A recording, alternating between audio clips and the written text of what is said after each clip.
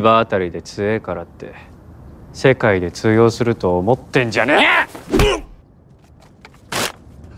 うわなんてことすんだふざけんな！なんだよこれ！篠原くんひどい！ななんでお前ら？みんな白原君の表彰パーティーをしようって集まってくれたんです。なのに見てたぞお前。なんで割ったんだよ。弟さんがお前のために手作りしたんだぞ。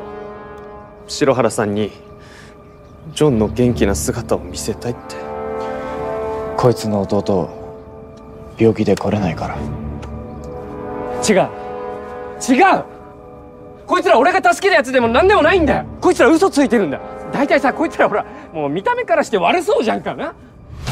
俺こんな見てくれたから信用されないことばかりで。見た目で人を判断するなんて。見損なったぜ。てめえら。そういうエンディングか。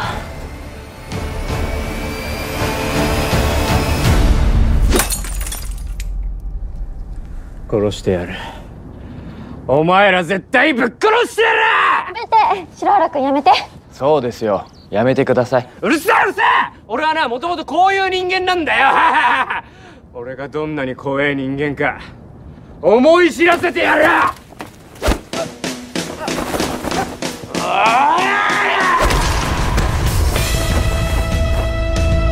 勝てねえ。こんな奴には勝てね早いなグロッキー。え気絶したふりしてりゃ田舎者のバカだから。気が済んで帰るだろう。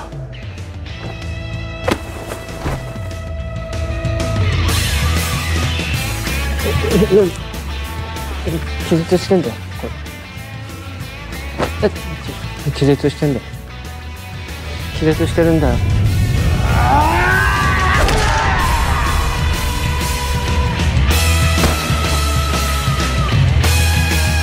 二度と千葉に来んじゃねえぞ